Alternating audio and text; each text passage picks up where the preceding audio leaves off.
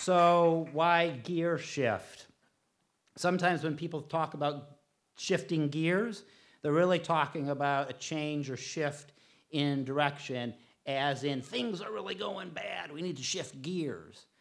But shifting gears has less to do with changing direction than maintaining an optimal effort for a maximum efficiency, like pedaling a bike. Uphill or downhill, you have to shift gears for maximum efficiency. It's about moving forward without getting exhausted or burning out your engine. Gear shift is a metaphor for resilience, adapting to a forever changing landscape with all of its ups and downs. The speakers we've invited here tonight will present five projects that can improve the health and resilience of Capitol Hill. Gear shifts in our ever changing Capitol Hill landscape. I invite you to listen with an open heart and an open mind, and then participate in the conversation of your choice. And finally, uh, we know there are some folks who are not able to be in this room, but who are following along online. So if you're tweeting or posting about this event on social media, use the hash, hashtag GearShift2016. Hashtag GearShift2016. With that, I'm happy to turn it back to Joel Sisolak. Thank you.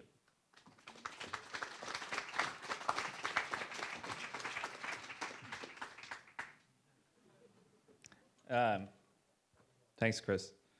So for this next segment of the evening, this is uh, really excited about this. We have five presenters, all from the neighborhood, ready to, give rapid fire presentations on five hot topics. And um, I will say that we're not going to do Q&A during this segment. I want you to um, hold your questions, your burning thoughts, and um, passion for the discussion, which will come after, when we'll have time for a deeper dive. So I'm I'm going to just start right off and introduce our first speaker and uh, ask him to come on up. Zachary Pullin. As uh, Chris mentioned, he's the president of the Capitol Hill Community Council, and he serves with many organizations that challenge inequity and pursue justice and opportunity for marginalized people. Currently, he's the director of communications and education at Pride Foundation, as well as a commissioner on the Seattle Housing Authority Board, vice chair of the 43rd District Democrats, the Fighting 43rd, and a steering committee member for the Capitol Hill Champion With that, uh, I'll turn it over to Zachary.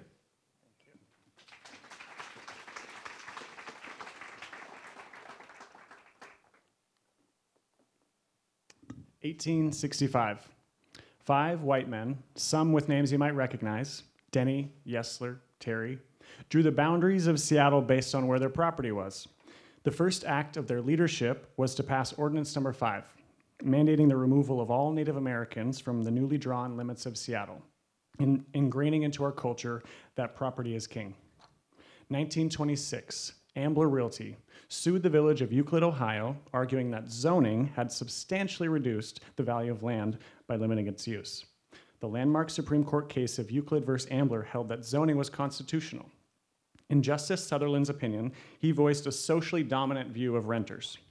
One valid purpose of zoning, he said, was to separate single family dwellings from apartment buildings, which are a mere parasite constructed in order to take advantage of the open spaces and attractive surroundings created by the residential character of the district. While the view of renters has softened, renters are still disfavored in spending on parks and under tax law, not receiving tax deductions for rent payments, for example. 1927, Worried that black families might seek housing north of Madison Avenue, a group of white homeowners from our neighborhood organized themselves and began a campaign to change all of the deeds in the area to exclude whole classes of people based primarily on their race from owning property in the neighborhood, perpetuating again the idea that property is king. The Capitol Hill Community Club, associated with this campaign, wrote a letter in 1948 stating that a small group of interested people worked and kept 90 blocks safe through, through racial covenants. The Supreme Court told us tenants are second class citizens. Property owners, owners tell us we are not worthy of calling this neighborhood our own. But tenants are not second class citizens. Renters are the cultural and economic lifeblood of our neighborhood. I'd ask between the three types of tenancy homelessness, renting, or owning which type of tenancy do you imagine someone like me, a young professional transplant, should live in when being a renter is the natural first step in planting roots in the city I call home? Thankfully, I'm not alone. A stunning majority of Seattle's land is zoned for property owners at 65% of the city. But in our neighborhood, renters make up 80% of the population, which is the highest renter to homeowner ratio in the city. We have power in numbers. It just requires us to organize and work together for common cause, our future and livability. That power can increase our impact on shaping the natural change in our city. When we cast out the idea that development happens to us and not with us, we will know the importance of our voices. When it comes to affordability and livability, our voices must be heard because our thoughts and concerns are what we give to our future. We need to be given the opportunity to, to cast a vision for the day when we might also be homeowners. Too often, though, I hear the, the same old tired criticism toward my fellow renters. Renters are transients. Renters don't care about the neighborhood. I've lived here for 30 years, and my opinion's more important. But we know that there are single family homeowners who feel like we're ruining the character of the neighborhood in a supposed war on single family homes. But when you elevate the voices and experiences of renters, vulnerable to crippling rental and rent increases, for example, then we will more holistically know how to solve our city's affordability crisis. Including us informs our work in creating a renter and homeowner city. Because at 80% renter population in our neighborhood, we know that we'll have renters here for a long time to come. And the work is already being done. Last year's HALA recommendations brought many valuable policy ideas for tenants, empowering our renter community by getting rid of source of income discrimination, increasing access to those with criminal backgrounds, and tenant counseling, as well as including more affordable housing across our city. But there's still more we can do. At the Capitol Hill Community Council, all of us are under the age of 33, and six out of seven of us are renters. We're queer people, we're women, we're people of color, we're the faces of our changing neighborhood. Our mission is to represent and elevate the voices of residents of our neighborhood because we know when we come together, we can raise $1,500 for PACs for people experiencing homelessness. We can provide community service hours at local organizations. We can successfully lobby for an expansion of LEAD and MDT to our neighborhood, all in the service of creating the community we want to see and doing our part to, sh- to shape the change happening in our neighborhood. That's why I'm excited about a joint project of the Capitol Hill Eco District and the Capitol Hill Community Council called Capitol Hill Renter Initiative. Our democracy should not be dependent on property ownership, and sometimes it feels like it does. History certainly reminds us of that. The Capitol Hill Renter Initiative will give power back to us renters. This year, we'll be particularly focusing on the HALA recommendations and affordability, but mostly we're building a movement. We need more leaders, though, willing to share your thoughts and ideas about shaping our neighborhood. All of this to me comes back to my value of home. We all deserve home and the feeling of safety that comes with it. Without home, we'd have nowhere to hang our hat. Thank you.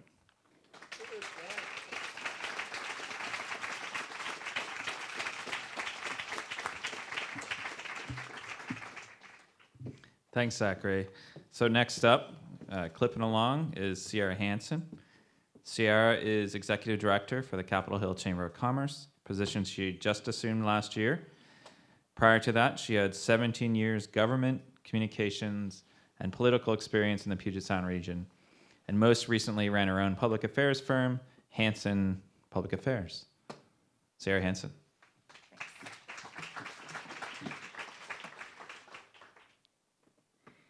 Good evening. Thank you so much for coming out to Capitol Hill Housing's ninth annual uh, Gear Shift uh, community event. Again, my name is Sierra Hanson. I'm the executive director of the Capitol Hill Housing, or I'm sorry, Capitol Hill Chamber of Commerce. And we work with hundreds of businesses and community organizations throughout the neighborhood and host community events like Clean Sweep and Halloween to really bring the community together with an economic development um, lens. In case you're tweeting or tagging, our information is on the screen, so please use it. Talking about uh, our Capitol Hill business improvement area uh, effort this year to pass um, this critical funding mechanism. Our neighborhood is exploding. Over the last five years, the city has issued 300 demolition permits, over half to multifamily and single family, single family homes. In their place have sprung up buildings with new businesses bringing new faces and businesses to our neighborhood. Fortunately, along with those new businesses and new houses, we also have new transit to accommodate the additional 3,000 folks who are going to be moving into our neighborhood, carrying 12,000 boardings as of today between the streetcar and light rail. So we know those numbers are going to grow. We know the buildings are going to keep coming. And that's why we need to also look at balancing how our economic district survives. We have new businesses alongside old icons such as Wild Roses and Dick's now operate alongside Conan Steiner and Big Mario's. A recent audit of Broadway found a 20% turnover in a two to three year period. So, how do we keep our diversity of businesses while balancing growth? It takes planning. Capitol Hill 2020 was created by hundreds of stakeholders coming together, creating an economic vision that balances growth and preserves our vibrancy over a year long period. And Capitol Hill 2020 has four core values that underlie every single effort outlined. They are convening our neighborhood, creating equity so all voices are heard, recognizing that community should be driving these efforts, and lastly, that prosperity has to weave through everything we do. So, it also defines bold moves. Organizations need to evolve to meet new demands. Clean and safe cannot mean sanitize and gentrify. We must address the growth that isn't going to stop anytime soon. And our businesses need to continue to be some of the coolest that we can find anywhere in Seattle. So, with that, we've launched strategic initiatives. We're working with a number of public and private organizations to implement them that will keep us safe and diverse by identifying problems and working towards solutions. But funding is the key moving forward, and this is where a BIA comes in. So, why a Capitol Hill BIA? If you want something done right, do it yourself. A BIA is community funded and community driven. The city doesn't have the resources or the on the ground knowledge to fix the problems that we see every day. Fortunately, a BIA can. Now, there will be a map that shows you how our neighborhood has grown. For 20 years, we had two sleepy neighborhoods. We had 15th, we had Broadway. They were the heart of our neighborhood. It's grown to six commercial areas 19th Avenue East, 15th Avenue East, 12th, Denny Olive, Pike Pine, Broadway, a tremendous amount of growth. And a new BIA will capture the growth and economic vibrancy in these areas. One of our key programs is going to be a clean program. See, Capitol Hill will never be suburbia, but sometimes it feels like we are swimming in a sea of litter, biohazard, graffiti, and sharps. A BIA will provide regular cleaning services to address this issue which is especially needed during the daytime and for our daytime retailers. Public safety is also important. A quarter of our funding will help us move away from 911 and no trespass signs to implementing a holistic program that will partner with social service folks to help those experiencing homelessness, mental health, and addiction challenges.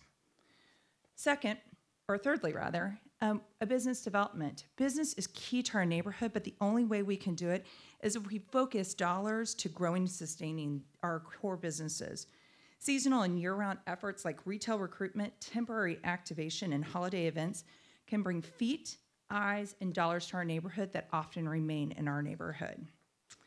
Urban design, placemaking, and advocacy are another core component of the BIA.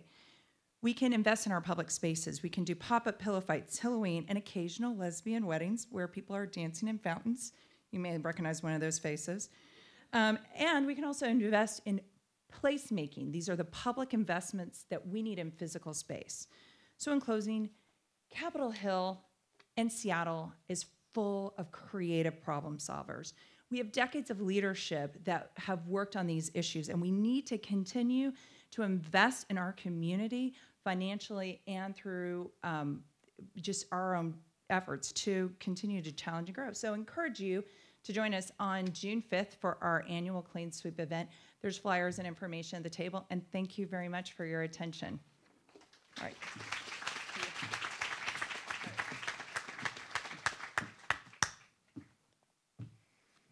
Thanks, Sierra. Um, most people who know me know that I can't dance and I and I won't prove that point right now.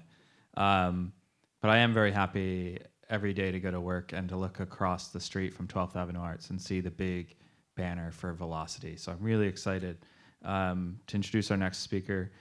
Uh, Tonya Lockyer is the co chair of the Capitol Hill Arts District and executive artistic director of Velocity, Seattle's premier art center and essential incubator dedicated to contemporary dance and movement based art. Lockyer is also an accomplished artist and educator with more than 20 years' experience presenting her work internationally. Welcome, Tonya.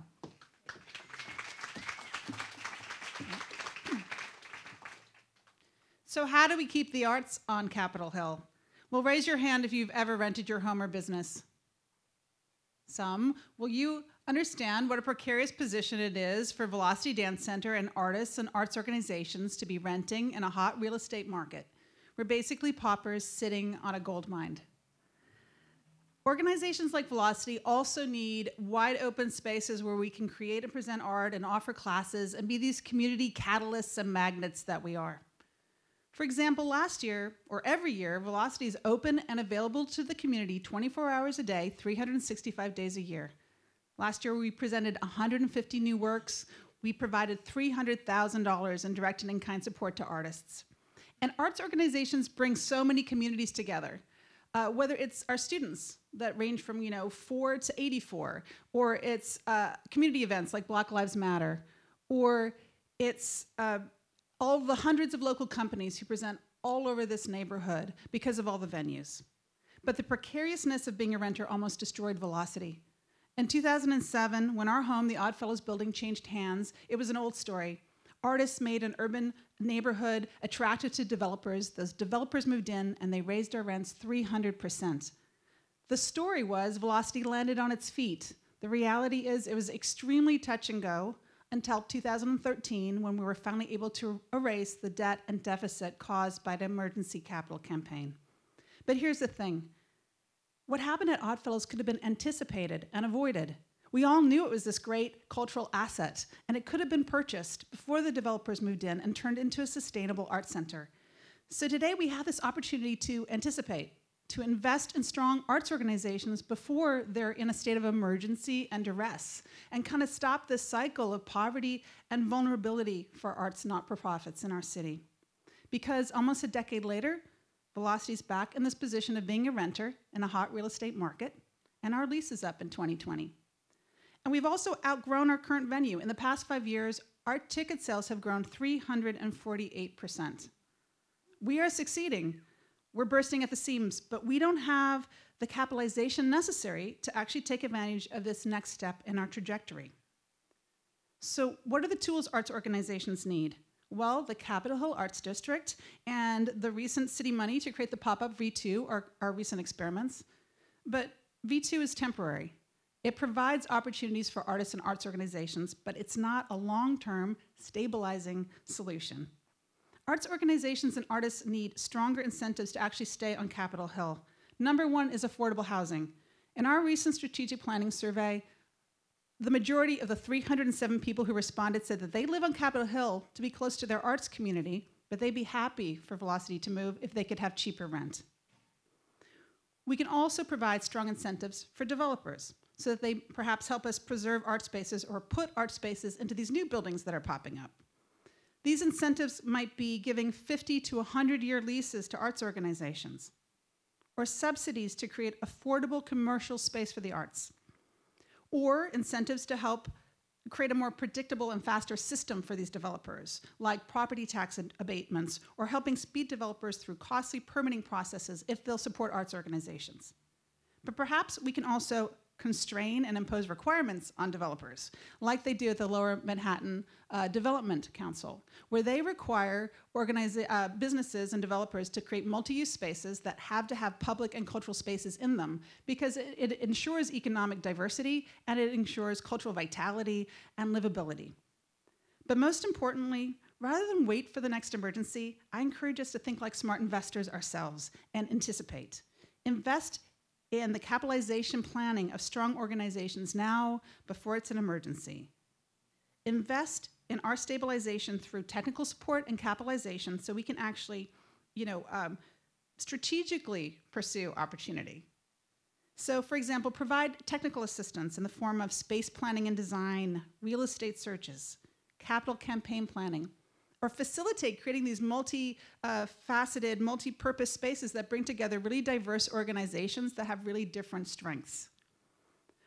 Or invest in capitalization by helping us plan for long term ownership years in advance, provide savings for a down payment, or the upfront capital investment that every business needs to succeed and strategically grow.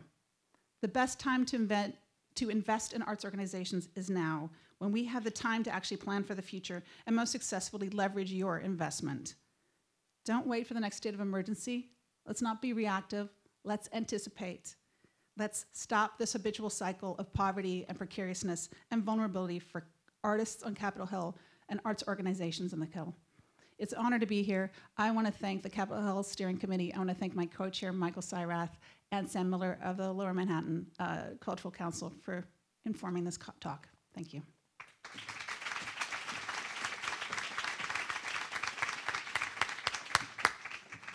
Thank you, Tonya. Uh, next up is Capitol Hill, as Chris said, Capitol Hill's own celebrity planner, Alex Brennan. Um, I'm going to go off strip, script here for a second and just say that um, I work closely with Alex every day, and I know that if there's an important conversation going on on Capitol Hill, Alex is somehow in the middle of it. So it's an honor to introduce him. Uh, he's become a leading neighborhood advocate for efficient use of Capitol Hill's limited parking supply. And before coming to Capitol Hill Housing, Alex worked as an urban economics consultant in California. He's going to be talking about parking benefit districts. Alex, take it away.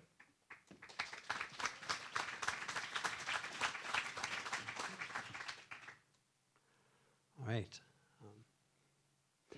Uh, so as Joel said, um, I'm here to talk about parking benefit districts um, and uh, starting the first one in Seattle here on Capitol Hill. A parking benefit district is a district where local parking meter revenue stays in the neighborhood to be spent on local needs and priorities identified by our community leaders. Um, to frame that conversation, uh, I want to talk a little bit about why pricing parking is important, um, also talk about the trade-offs around uh, keeping parking revenue in a particular neighborhood. Also, how much money are we really talking about? Um, how would a parking benefits district work? Um, and how would we make that decision? Uh, so, so first off, uh, unlike what you might have learned um, in playing Monopoly, parking is really expensive. A street parking space takes up very valuable land worth about $40,000. Um, and if we don't use our street parking efficiently, then we have to build expensive off-street garage parking for about $33,000 a space. Um, when expensive parking is made, is available for free, it fills up. People circle around the block, congesting our streets. Turnover is low, so fewer people can use those spaces, and there's an, more of an incentive to drive, so we end up needing more parking. Um, that's why the city generally charges for parking in our business districts. Uh, despite these benefits, nobody likes to pay for parking, and that's why advocates for pricing parking recommend parking benefit districts. If some of the revenue can stay in the neighborhood, the meters suddenly become a lot more appealing. Um, and this has worked really well in other places around the country. Um, perhaps most famously uh, in Old Pasadena, where the creation of a district there in the early 90s transformed a failing shopping center into one of the most beloved neighborhoods in Southern California. Um, of course, like many things, um, there are a lot of special obstacles to doing this here in Seattle. Um, the first obstacle is state restrictions on how meter revenue can be spent. Um, state law requires spending have a nexus with parking. Uh, this probably means some kind of transportation program or project like free transit passes for residents and employees, uh, maybe sidewalk improvements, or a parking management program. Um, there are also some local obstacles. Uh, Seattle's business districts already charge um, for parking, uh, contributing $40 million to the city's general fund. We can't just take that money away without cutting services, uh, and there are some serious race and economic equity issues with those cuts. Um, uh, if you look at this map of where metered parking is located, uh, the entire south half of the city is missing. Uh, we don't want the low income communities and communities of color in the south end who have historically been denied public investments to lose out again if metered revenue is kept in the neighborhoods with meters. Uh, given the challenges with reallocating existing meter revenue, the most promising opportunity is probably opting in to new meter hours. Uh, parking occupancy actually hits its highest point on Capitol Hill at 8 p.m., right when the city stops charging, um, and stays high until midnight. Uh, using the city's own occupancy criteria, this is the most important time to be charging for parking. Um, and extending evening hours in the Broadway and Pike Pine corridors would generate roughly $1.5 million in new revenue. That's enough to provide 4,000 free transit passes uh, or install lighting in all of the dark spots that feel unsafe to walk past at night. Um, how would we do this? Ultimately, the city council would need to vote first in support of the concept and later to create a district on Capitol Hill. To do this, they would need a detailed proposal with broad community support. Today is just the beginning of this conversation. Um, we're probably a few years away from any decision. Uh, one of the most essential elements of any parking benefit district would be who is at the table who is on the board overseeing spending decisions, and how are those people selected. Oversight would need to incorporate the diversity of neighborhood stakeholders, and the selection process would need to instill real community legitimacy. And long before the district is created and people are appointed, the proposal would need a clear framework for spending priorities. I've mentioned the state limitations and thrown out a few of my own ideas, uh, but this is the time to get creative. What are the kinds of transportation investments that you would like to see in our community? Um, this is the time to get involved. Uh, tell us what you think, give us your ideas. Together, we can figure out a way to not only better manage parking in our neighborhood, um, uh, but also generate revenue for much needed programs and projects. Um, we can make this happen. Uh, thank you all for your time.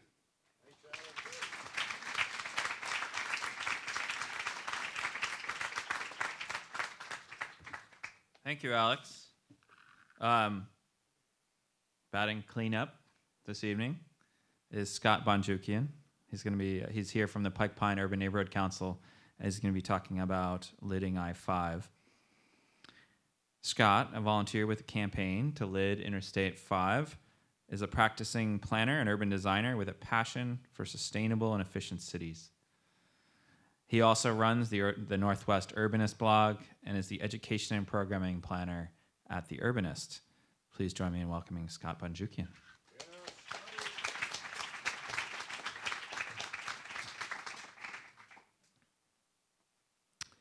Ditch, canyon, scar, eyesore, commerce.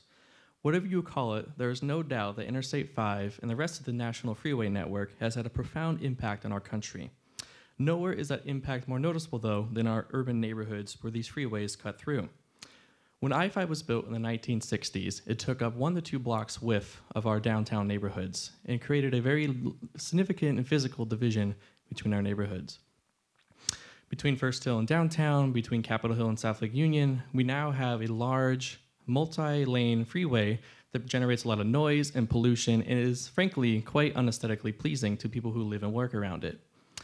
But the way the freeway was built actually presents an opportunity. The topographical situation, roughly from Olive Way to Madison Street, has the freeway running in a ditch. And traditionally, cities have looked upon this as a way to provide new airspace opportunities. We've done this previously in Seattle. Uh, 10 years after I 5 was built, Freeway Park came in with the leadership of civic leaders like Jim Ellis and other people in the, in the region that connect First Hill back to downtown with a nice pedestrian realm. Over time, of course, Freeway Park has been slowly expanded to other and additional with additional development around it. And of course, also the Washington State Convention Center became its new neighbor. And the Washington State Department of Transportation has been uh, active in building lids more recently as well. When I-90 was built over Mercer Island, a half-mile lid, Aubrey Davis Park was built on the west end of the island along with landscaping and sound buffers, and the Mount Baker lid down in the Mount Baker neighborhood of Seattle was also built to help mitigate the effects of the freeway there. Even more recently, with the Highway 520 rebuild, WashDOT built three lids in the east side neighborhoods of Medina um, and Hunts Point to help mitigate some of the uh, effects of the freeway there, and those primarily service parks and transportation spaces. On the west side of the 520 bridge, when that gets uh, extended, we'll also have new lids in the Roanoke and Montlake neighborhoods. So why downtown and why now? Currently, downtown has a lack of about 10 acres of park space according to our comprehensive plan standards.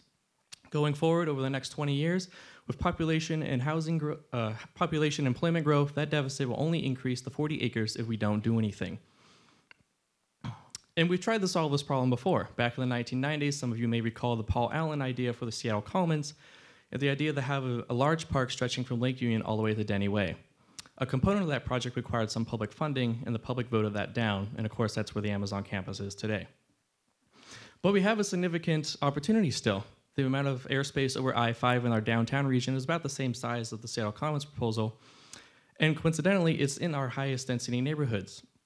Another stimulus for development in this area is, of course, the Washington State Convention Center expansion over the King County bus station that will soon be closing. We also have a couple of small parks, Plymouth Pillars Park and Green there, adjacent to the freeway, that could be expanded in the future. Other cities across the country have faced the same challenges that Seattle does, and they've responded in the same way. Here's a smattering of examples from uh, cities in different climates and cultures that have responded in similar ways by bridging over their freeways for parks and open space. Probably the gold standard for this type of project is, in all places, Dallas, Texas.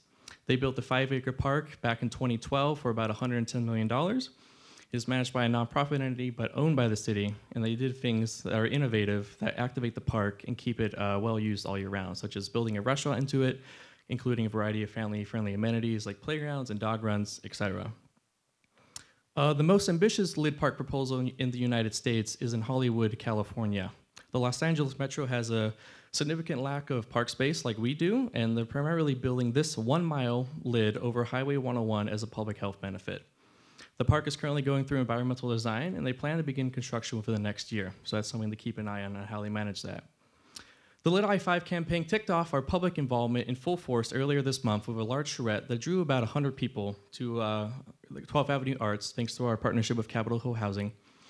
We had people very excited and talking about all kinds of ideas for what should go on the lid, ranging from parks to affordable housing to an amphitheater outside the Paramount, to include even including a downtown elementary school. Ultimately, our plan is for the near future to host more of these charrettes that we hope you guys can get involved with.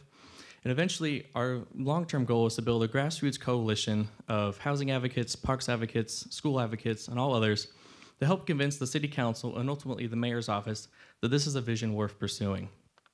It's going to be an uphill battle, and we're going to have to involve the state transportation agency eventually. And of course, if we don't build lids within the next five to 10 years, I 5 itself will have to be rebuilt as well, since it's in only 10 to 15 years younger than the viaduct, and we can see what condition that's in. So we hope you guys can participate and join us, and I look forward to talking to you one on one. Thank you. All right. and thank you very much for being here tonight. Thank you. So we were at the Renters Initiative discussion, which was very important. I think uh, one of the things that really encapsulated the discussion for me was when people were going around asking why are why do I live in this neighborhood? And Lauren here said she when she was about to move to Seattle, she asked people who know Seattle, what neighborhood should I move into? And everybody's answer was Capitol Hill. And I think that really captures it for everybody. For me personally, just to share with everyone, I grew up in Mumbai and I am a big city person to the core. And really, in all the neighborhoods I've lived in in Capitol Hill, I mean, in, in America, Capitol Hill really came the closest for me to feel at home. So I really identify with the feeling that others people have of living here. People mention the you know myriad of reasons why they like this neighborhood: walkability, nightlife, uh, diversity, a feeling of inclusiveness, restaurants, ability to leave their car at home or to not have to own a car at all, and above all, a feeling of community.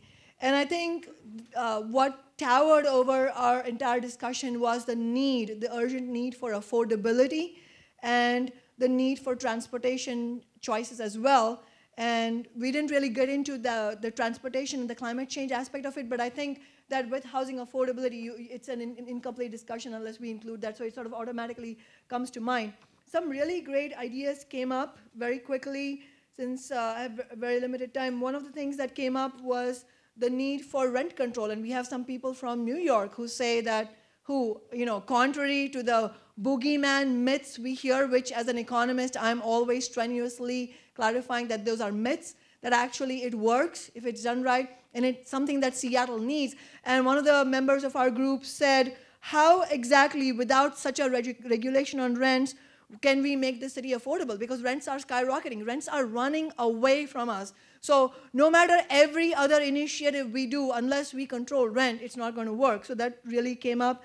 There's also a very interesting dimension to our discussion. We have uh, people who have been involved in real estate development, incidentally, in New York, and we have uh, property owners in our discussion who both seconded the, the idea that renting needs to be affordable and that they see it from that standpoint. And actually, the property owner we have here, just incidentally, I actually had a discussion, Rita Smith, I had a discussion with her about rent control last year, and she mentioned a very important point, which is that she is already not uh, price gouging her tenants. So if we did have a citywide rent control, it wouldn't affect her because she is not gouging her tenants. So there are many good land landlords or property owners in this city who would not be adversely impacted. A rent control policy, what it would do is make sure that gouging didn't happen. A very interesting idea, aside from rent control that came up, was incentives to encourage long-term tenancy. And I think that really, I, felt a strong echo to uh, what came up, which is, first of all, I mean, the idea is renter tax initiatives. But more importantly, you know, going back to Zach's point from his presentation earlier about how there's this narrative built over decades, it's not a new thing, built over decades that renters are somehow temporary. Somehow you haven't arrived in your life if you haven't bought a home and are not paying a mortgage as opposed to paying rent because you're still paying somebody, the banks own everything. And, uh, and this narrative that somehow it's a parasitic thing to do. You can't raise your children in a rental unit. So uh, I think there was a strong push in our group to, uh, you know, against that kind of narrative and really ensuring that we changed, we, we provide a different narrative, which is that renting is a conscious choice. It is not a step towards moving. I am not temporarily parking here. This is my home, and that I should be recognized, that should be recognized, renting should be recognized as an honorable and dignified choice. And the other point that came up was the need for permanent affordable housing. We have programs, for example, the MFT has uh, housing units affordable up to a horizon of 12 years. Capital housing, I think most of the units, the maximum is 30 years. 50. Uh, 50 years. And I think those are great things. But I think there was a strong echo in the table, on the table also about permanent, permanent need for affordable housing. And uh, the other points that came up were the need for renters to have their own voice heard. We need renters to play a leadership role. And as our point two says, we need renters to get organized. And I'll just put one quick uh, addition that didn't came up, come up in the discussion, which is that we have the Tenants Union of Washington State. We need the Renters Initiative. This is my own view. This is not something that I'm reflecting from the group, but I hope everybody agrees that we need the Renters Initiative to team up with the Tenants Union of Washington State because they are already organizing tenants. And as you know, they helped us, they helped my office organize the tenants at Rainier who are now responsible for the Carl Haglund law, which is coming up to a vote next Wednesday. So, so, so, uh, woo! No, no, no gouging on the rent. Who's taking this? Mike, one question, real quick. Kshama Sawant, Council Member Sawant. What's the next step? What do we do? How do we, how do we make these ideas a reality? Well, f- first of all, I hope everybody will support us in getting the Carl Haglund law passed because one of the points that was made earlier in the presentations also and in the discussion was uh, fully, you know, having tenant protections. And so this is just one piece of the tenant protection. This law says that it would be illegal for property owners to uh, increase rents while they still have outstanding housing code violations. That's one part of it. It's not going to solve all the problems. So we need Seattle to be a full-fledged tenants bill, of, have have a full-fledged tenants bill of rights. But I would say, bottom line, bottom line, to make any of this possible, you know, and we haven't even discussed the small businesses' need for rent control as well because their rents are going up. The bottom line is we need to get organized. So if renters and small business owners, community activists want these changes to happen, we need to get organized because without that, we will always have less power. And it's and that's another point that came up. It's about power, uh, you know, and clout and voice in the political discourse.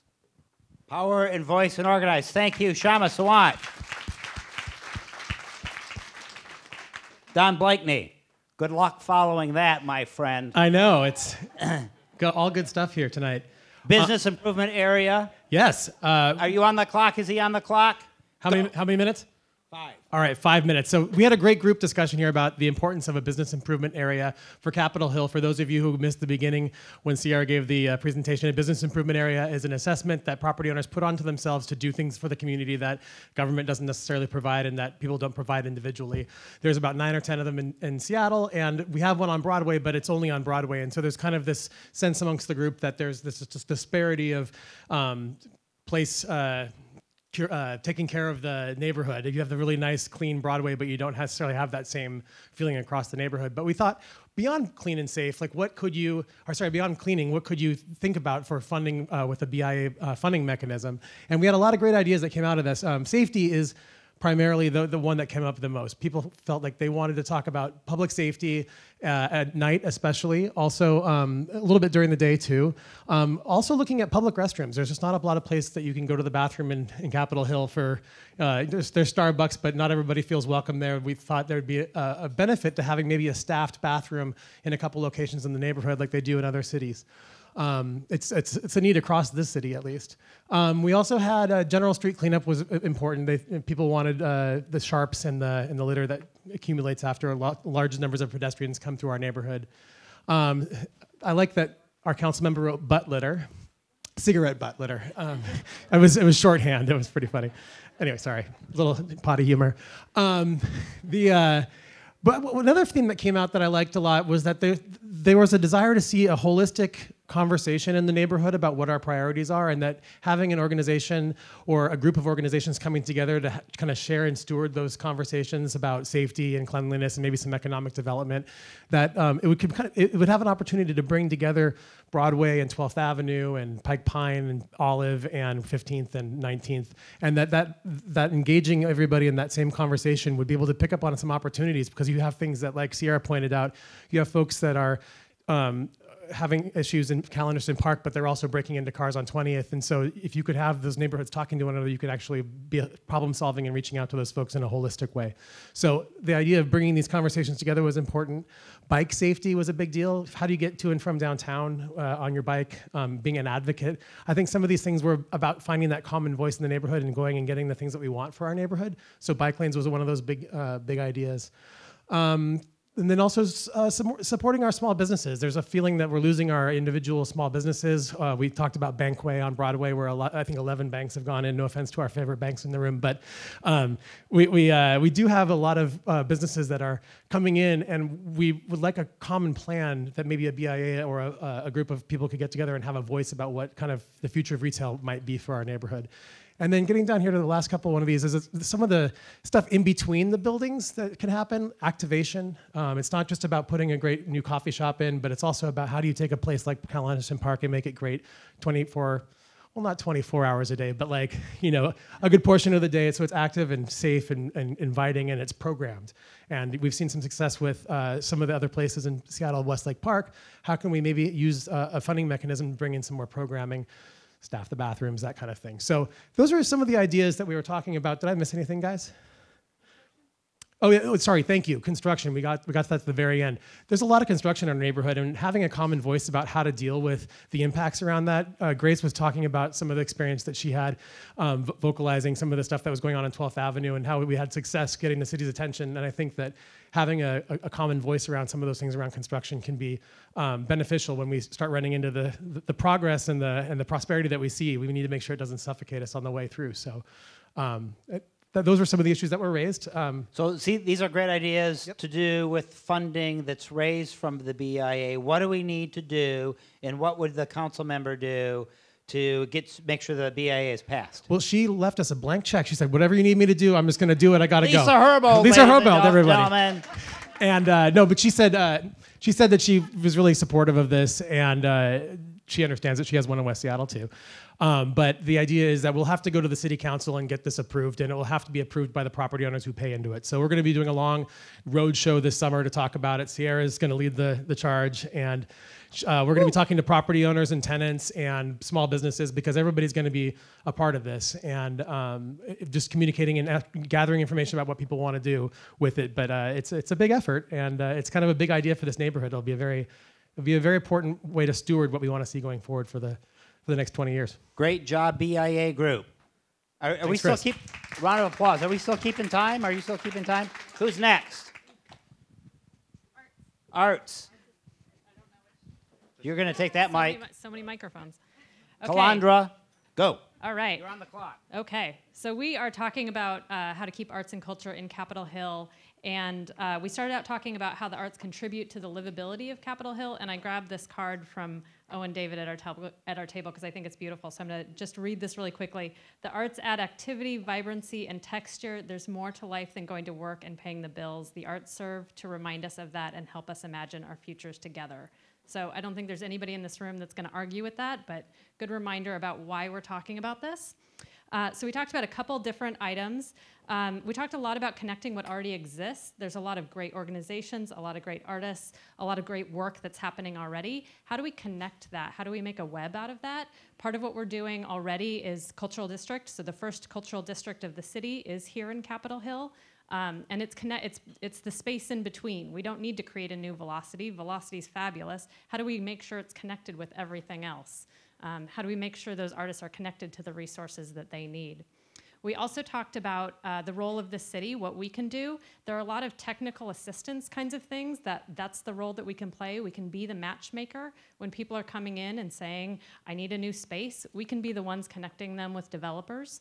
Um, when people say, "I need help figuring out how to how to write uh, a proposal to buy a building or rent a building or do something new and innovative with a building," we can be that resource. So that's something that I think we're doing right now, but we can really invest there and and deepen that kind of um, skill set that we can bring to the the whole community. Um, we also talked about how to help navigate the system. There's a lot of um, codes. There's a lot of complicated stuff that's bureauc- bureaucratic, but we can help get people through that quickly. So if people come to us, we can help move that through a little faster. We also talked about a couple things that aren't necessarily happening at the moment. We talked about public development authorities.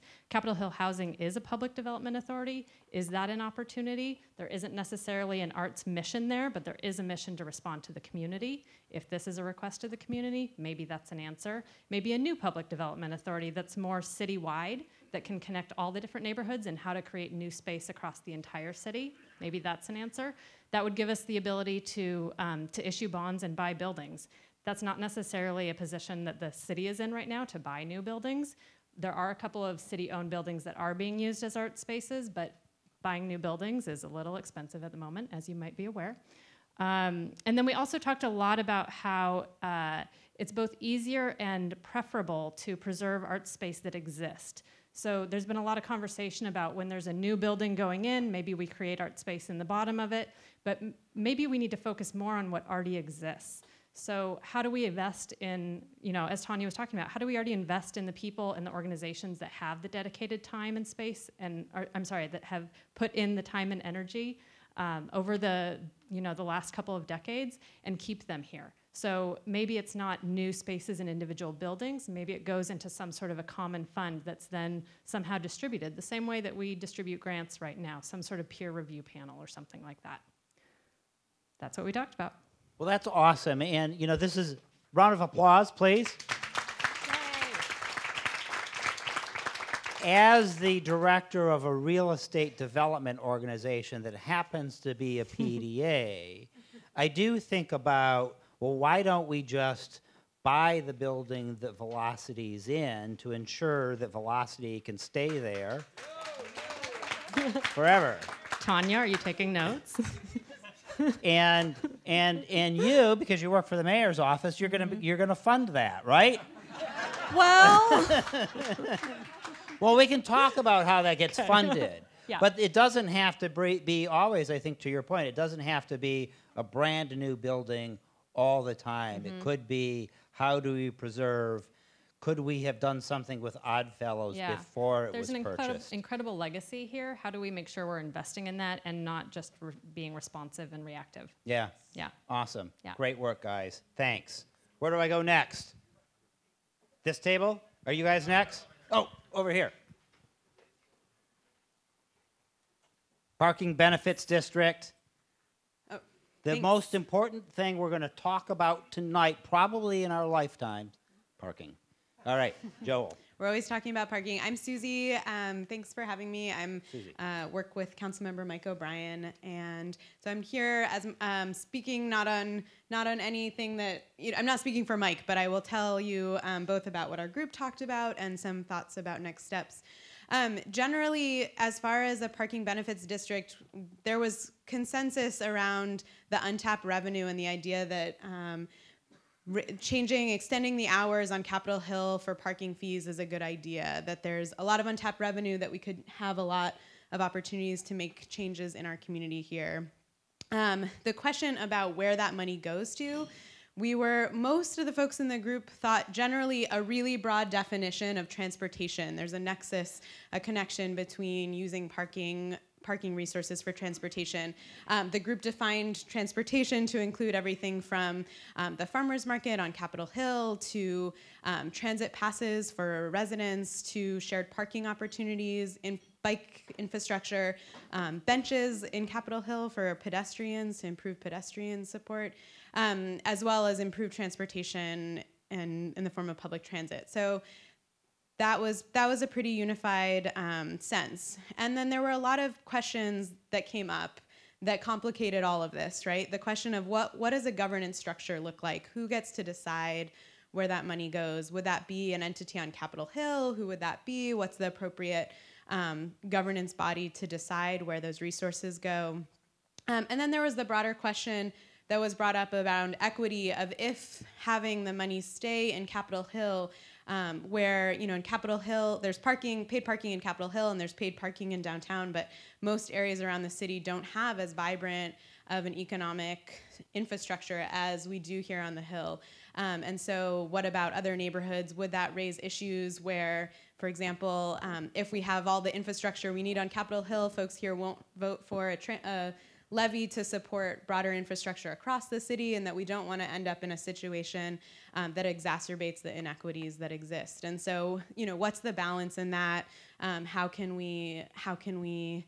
Um, how can we, if we're going to do something where we keep the money in the neighborhood, what can that look like um, that that feels equitable? And how could we even be thinking about who benefits on Capitol Hill, be it a voice for renters, um, and you know, making sure that that we're thinking about equity in in where the money goes. Um, so that was sort of the big. Those were some of the big. There was a lot of. There's a lot of um, good thoughts about it. A lot of places where that funding can go, and then a lot of questions. Um, and I can just say from the city that it's, an, it's a question we're exploring. Um, we have two folks who are working on this a little bit, um, both from SDOT and um, the city council uh, staff. So, you know, there's we've requested a statement of legislative intent um, around the parking benefits district. So, um, did you say in June, July? June 30th. Um, keep your eyes peeled for, you know. Oh, okay, okay. A statement of legislative intent. Rock on. Yeah, so that's- Okay, what, what, is, what does that mean? Sure. Um, that is a wonky term, um, and I and I have to say I always want to say that it's a, s- a slee and not a sly, but it's we say sly, but it's all wonky, whatever.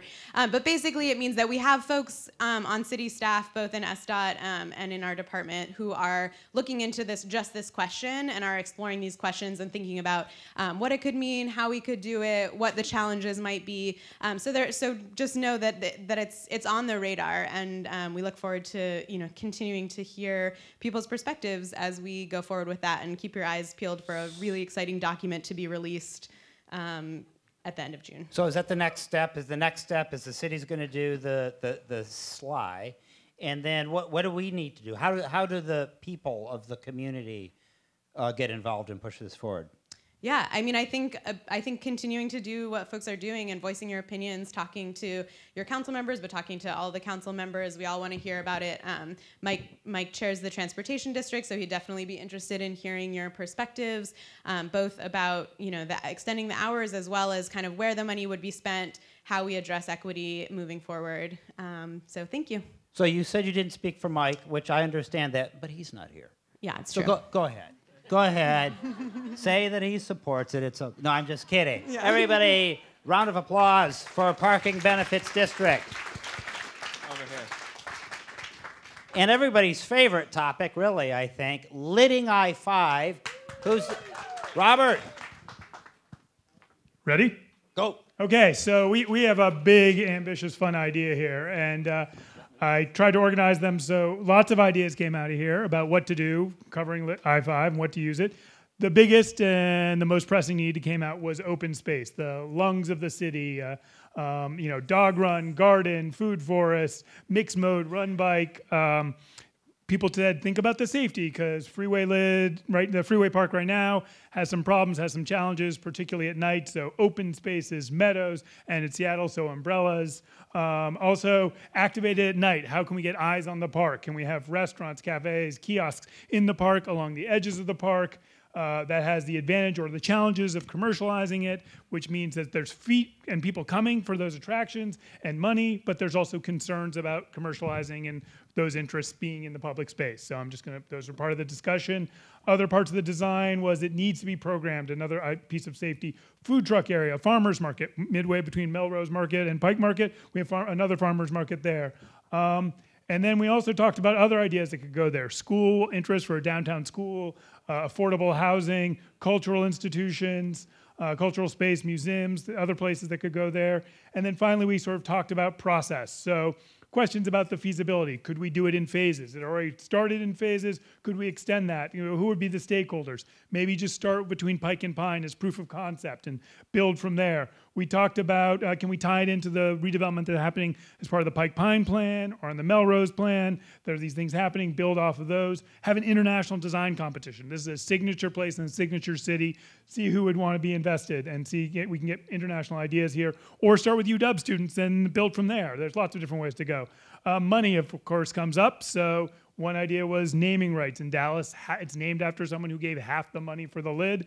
Um, but that not not mixed opinions on that one. Uh, corporate partners, mixed opinions on that. State money or federal highway, people are happy to spend their money. Um, and then uh, also, just could this be a signature in terms of low impact building? What could we do with solar, capturing rainwater and solar and the stormwater? What energy? You know, there's just sort of energy from the cars, whatever. We could do interesting things there. And then we started talking about what would be the video that would be so compelling, the equivalent of the seawall bridge that make people want to do it, showing how it was safer and better because of this. So that's where we went. It was very exciting. Yeah, that's very cool. Robert Feldstein. Now, uh, Robert, you you you're from New York City, is that right? I am. Uh, how long how long have you been in Seattle now? Uh, I'm in, in, my third year here. Third year. How, are you enjoying it? I'm having a great time. Awesome, awesome.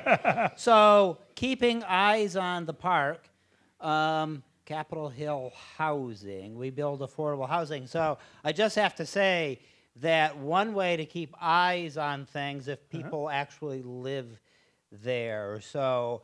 I'm just putting the plug in for affordable housing because I have to. That's my job to do that. Mayor's and there with you. I don't know if you know about this, but there is an affordable housing and homelessness crisis in this city. So every chance we can have to build affordable housing, we should do that. Okay, that was off script. Somebody's gonna gonna get me into trouble. So okay, what are this is huge. I saw the timeline um, that Scott had up there was like 2017, we're talking about it. 2030, we're naming no, we're doing it, it next year. Yeah, Oh, we, we figured out. Yeah, we're yeah. building in the Yeah. next year. What, and what are the next steps? How do we move this forward? I mean, and truth be told, the city's our priority, and we're, I'm just going to be very real here. The waterfront is our signature park we're putting our money into right now. Right. But it doesn't mean we shouldn't start thinking about the next Right. move. And that's where, and those are the work Scott's doing and people like that is the right move. Starting to get design, getting the experience, so that when the when if there's a redevelopment of I-5, we're ahead of them with the state. We're ready with the feds. We have a plan. We're not then starting a Seattle process of figuring out what to do. So the convention center is doing a big development, mm-hmm. and they're going to have to pay some public benefits. Mm. And I know there are some people that are advocating for some small portion of that public benefit to be put towards some of the design costs. Is that something that the city would support? I think it's going to be in competition with affordable housing, which, as you know, Well, I think is the a big, the priority. big, the, the big So- amount should go toward affordable housing, but a, a sliver towards this. We can. That's always a good discussion. All right, good, good enough. All right, Lidding Group. I think we're done. Thank you.